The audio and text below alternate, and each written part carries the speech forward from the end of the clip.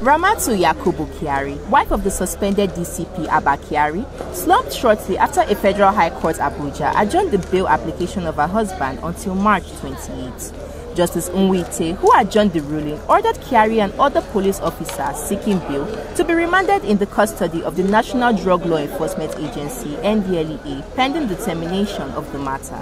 The middle-aged woman, who wore a black hijab, slumped while armed operatives of the NDLEA were leading Kyari and others away from the court's premises. The development delayed the NDLEA officers from conveying the defendants to their office as they waited for Kyari outside the court premises for about 45 minutes before he was led into the waiting vehicle.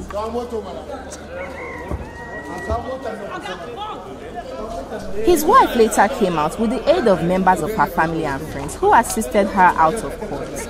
NAN reports that the NDLEA filed an eight-count charge against Kyari and others bordering on alleged drug trafficking.